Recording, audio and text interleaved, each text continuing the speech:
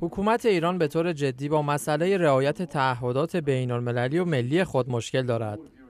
احمد شهید گزارشگر ویژه حقوق بشر سازمان ملل در امور ایران روز دوشنبه در نیویورک به گروهی از خبرنگاران، دیپلمات‌ها و فعالان حقوق بشر گفت که محاکمات ناعادلانه، فشار بر روزنامه نگاران، تبعیض در مورد اقلیت‌های قومی و مذهبی و دیگر موارد نقض حقوق بشر در ایران کاهش نیافته. آقای شهید گفته که حکومت ایران در برابر نقض فاحش حقوق بشر و استفاده از مجازات های دولتی مسئولیت دارد. من از این نگرانم که هیچ تغییر محسوسی در بهبود وضعیت حقوق بشر در ایران ندیدم.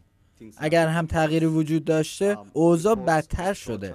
گزارش های شکنجه همچنان می‌رسد و معافیت از مجازات شکنجهگران همچنان بخشی از این روند است. من در موارد بسیار اندکی دیدم که عاملان شکنجه مورد تحقیق قرار گرفته باشند و اگر موردی هم بوده عاملان اصلی این شکنجه ها مورد بازخواست قرار نگرفتند. کسانی هم که مقصر شناخته شدند نه نامی از آنها برده شده و نه اقدامی علیه آنها شده. آقای شهید همچنین گفت که در هشت ماه اول سال جاری بیش از 300 مورد اعدام در ایران ثبت شده.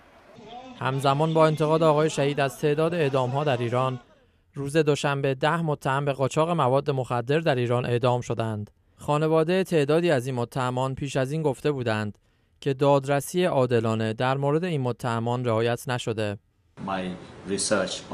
آقای شهید قرار است روز چهارشنبه گزارش سوم خود در مورد وضعیت حقوق بشر در ایران را به مجمع عمومی سازمان ملل متحد ارائه کند. ما با این صحبت ها وزارت امور خارجه ایران پیش از این با صدور بیانیه ای از این گزارش انتقاد کرده و آن را مغرضانه و سیاسی خوانده بود. حکومت ایران تا کنون اجازه ورود آقای شهید به ایران را با وجود درخواستهای مکرر او نداده است.